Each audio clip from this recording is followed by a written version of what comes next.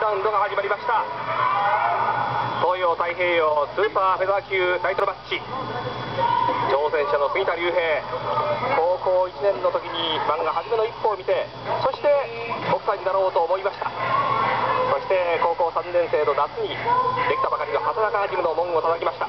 その時にまあ会長が堂々枠だけやってこいそして冬まで我慢したらということを言っていましたそして入門を果たした。杉田竜平うん。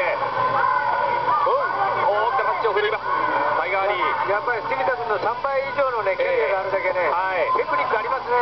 今日が21戦目の杉田竜平に対しましてなんと今日が66戦目というタイガーアリで。すなんといってもあの畑中会長がデビューする前にもうデビューしてたわけですからね。このタイガーアリは。